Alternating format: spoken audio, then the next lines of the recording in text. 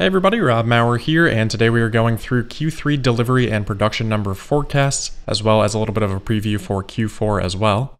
As a reminder, we should get the official report from Tesla sometime within the next three business days, so I do expect it tomorrow, Friday, either before market open or after market close, but it could come as late as end of day on Monday or even over the weekend. If you are normally an audio podcast only listener, I would recommend checking this out on YouTube because I am going to go through my spreadsheet. That link will be in the show notes. So, with that being said, let's get right into it. So, here you can see my production forecast, kind of breaking things up by segment, usually month, and then summing them up for the quarter. And in some cases, the months are broken up if there is known downtime for a portion of that month. So, unlike other forecasts that you're going to see, this is a production forecast for me. A lot of people do delivery estimates. We'll go through delivery estimates, but for me, production is more important. And then I take that production forecast and work into my delivery estimate. So we'll go through all the logic here point by point, but just to orient people again with the spreadsheet, or for the first time if you're not familiar, I have the total production forecasts or actuals on the leftmost column. Then I have Fremont and Shanghai broken out individually, so the sum of those should equal the total. And then the sort of center section here, I have calendar weeks, and then weekly production rates, and then the right hand section, I have calendar days and daily production rates. The gray cells are actuals, so those are known quantities. The blue cells are things that we have extremely high confidence in based on some other information.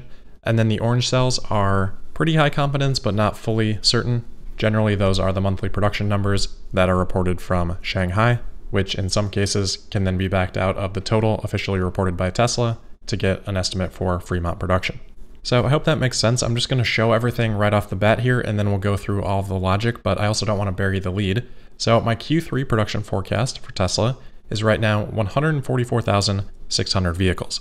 That would represent a 76% increase over Q2's production of 82,300 vehicles and a 50% increase over last year's Q3 of 96,155. So let's talk about how I'm getting to that number. First, we'll start with Shanghai because again, we have those monthly production reports that have seemed to be pretty accurate for us in the past. So D. Kirk on Twitter, Moneyball, has been helpful in posting these each month. It looks like July production from Shanghai was 12,500 vehicles, and then August pretty similar, 12,700. We don't yet obviously have reports for September production, but we do know that Tesla's Gigafactory Shanghai was shut down from September 20th to September 30th, thanks to Wuwa on YouTube and Ray for Tesla on Twitter. So because of that, I'm estimating September's total production to be about 7,900 vehicles. That's a weekly production rate excluding that shutdown of 2,900 vehicles per week, which is very similar to what Tesla produced in July and August.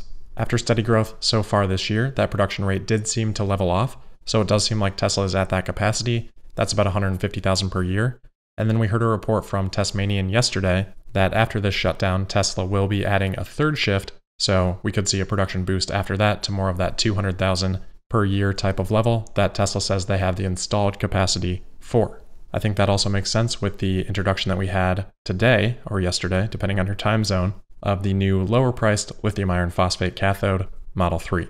So, anyway, for Q3, that gets me to a production forecast for Shanghai of 33,150 vehicles. So now we can flip over to Fremont, and I want to start with the Model Y. So here, I think the best information for us to look at is vehicle identification numbers, or VINs. Troy Teslike has a great Google Sheet that allows people to input their Model Y order information. And from that, we can sort of see the distribution of VINs by month. So at the end of Q2, the highest Model Y VIN was around 25,000. So that provides a ceiling for us. We know that if the highest VIN that has been delivered is 25,000, then production can't exceed that level. However, it also doesn't mean that 25,000 vehicles have been produced. For example, in June, we also saw a vehicle that was delivered with a VIN range of 2,000. So in general, I think somewhere in that midpoint probably ends up being pretty close to the actual production number. For Q2, for example, I had estimated that around 11,000 Model Ys had been produced. So if we look at Q3, if we look through the end of September, the highest VINs that have been reported are now in the 59,000 range. So if we just use the spread between the previously highest reported VIN and the new highest reported VIN, 25,000 to 59,000, that's a spread of 34,000 vehicles, and most of these VINs in September have been above 44,000. So just like in June, most were above 11,000. If we think about some of the VINs that have been skipped or are missing, then to me, cumulative production of around that 44,000 level feels pretty good, which would put Q3 production for Model Y at about 33,000 vehicles if Q2 was around 11,000. So not a high confidence estimate, but for Q3, forecasting 33,000 Model Ys produced. Let's then shift over to S&X because I think that's pretty simple. Historically, over the last five or six quarters or so, excluding Q2 when there was so much downtime, we have seen production for Model S and X in Fremont range anywhere from around 14,000 all the way up to about 18,000. So really I'm taking the midpoint of that and estimating that Tesla produced around 16,000 S and X in Q3 but they do actually have more capacity than that. We just haven't seen it for the last few quarters, but there could be a couple thousand vehicle upside there. So assuming 16,000 S&X, we then come to Model 3. This is probably the area with the highest variability or the most unknown to me because historically we have seen Tesla produce up to about 6,500 Model 3s out of Fremont per week. However, even factoring in the shutdowns in Q1 and Q2, that production rate for Model Y dropped to around 5,800 vehicles per week in Q1 and around just 4,400 vehicles per week in Q2, again, excluding shutdowns. So Tesla either throttled back Model 3 production or they simply shifted some of those resources for Model 3 production over to Model Y, which I think is probably more likely. So, one of the biggest questions around Q3 production is what this Model 3 production rate ends up being.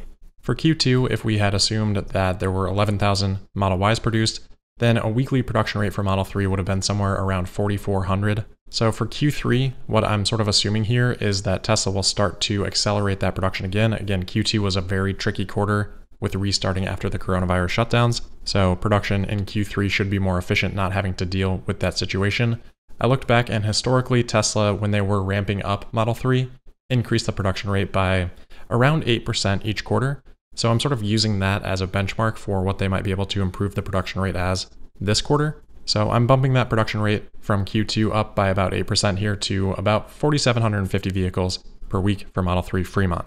That gets me to about 62,000 for the quarter. We add that to the 33,000 Model Ys and the 16,000 Model S and X, and that gets me to a Fremont production forecast of 111,500 vehicles for Q3. If we add that to the Shanghai forecast of 33,200, then that gets me to my total of 144,600.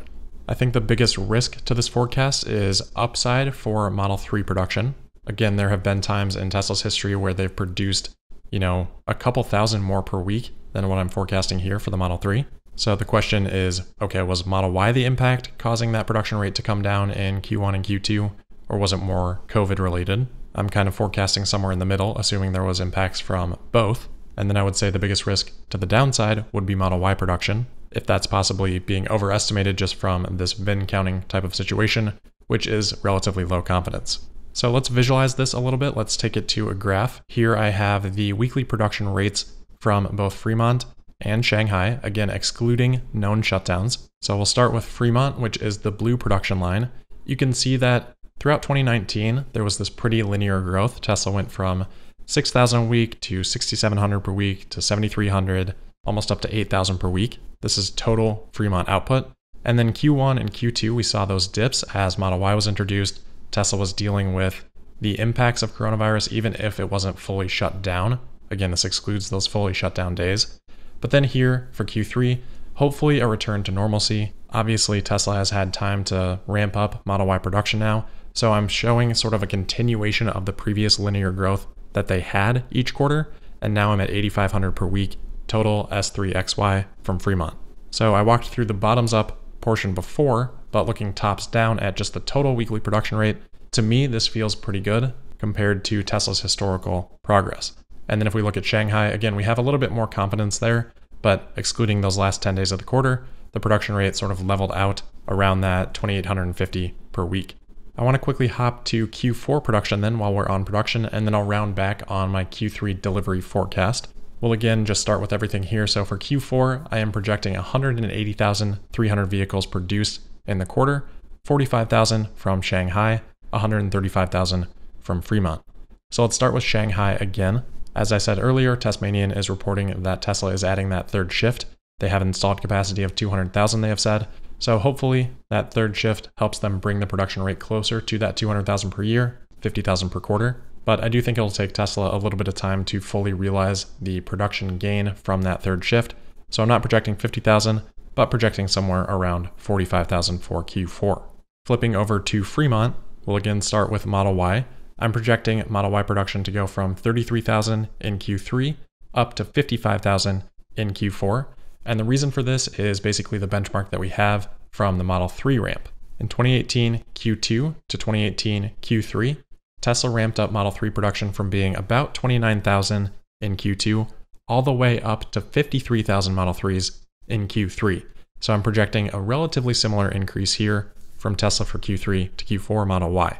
It's possible that Model Y could even exceed that, but on the other hand, there's also less pressure for Tesla to ramp up Model Y production as aggressively. Remember, that was a really critical time period for Tesla back in 2018. They didn't have the time that being profitable affords you to have. With Tesla being in a bit more comfortable position now, they may not have to push quite as hard, and that might be better longer term, allowing them to focus a little bit more on ramping in a sustainably profitable way with better quality assurance, you know, whatever the case may be. Balancing those two out, I'm basically just projecting a similar increase for Model Y as we saw for Model 3. For S and X, I think Tesla will increase production in Q4 from the Q3 level. Q4 is always a great quarter for total automotive. I expect Tesla to have very few down days. I think they'll try to just push everything as hard as they can in Q4 and make it just a really, really demonstrative quarter of what Tesla can achieve. So I've got 17,000 S and X in here, but again, I wouldn't be surprised if that was higher. And then for Model 3, I think again to me this is the biggest unknown, so I'm sort of holding the status quo, the logic that I had for Q3, into Q4, just showing a slight increase from what I have projected for Q3 in terms of the weekly production rate, up to about 4,800. That gets 63,000 vehicles for the quarter. Putting all those together is 135,000 from Fremont, adding that to the 45,000 from Shanghai. That gets me to just over 180,000 for Q4. So putting Q3 and Q4 together, that puts my full year at just under 510,000 vehicles produced for the year. Depending on how deliveries shake out, this would fall within Elon's comment at Battery Day slash shareholder meeting, saying that they would grow deliveries this year by 30 to 40%. So let's talk about deliveries then for Q3. Again, production 144.6. We know Elon on Twitter had mentioned that this has been a tough quarter logistically. Because of that and a couple other reasons, I think Tesla will actually produce more vehicles this quarter than they deliver, but only by a little bit. I think Shanghai deliveries should outpace production because we have that final 10 days being shut down for production. So that allows Tesla to move through inventory without creating new inventory, drawing that inventory down. But I think Fremont will be the opposite case. Production should have continued to ramp throughout the quarter as Model Y production rates become higher and higher, which, if that is persistent, means the final week of the quarter, that's going to be your highest production week. And just logistically, you can't deliver all of those vehicles and the final week for Q3 is certainly going to be a lot higher than the final week for Q2. So, because of that, I expect inventory to build up a little bit.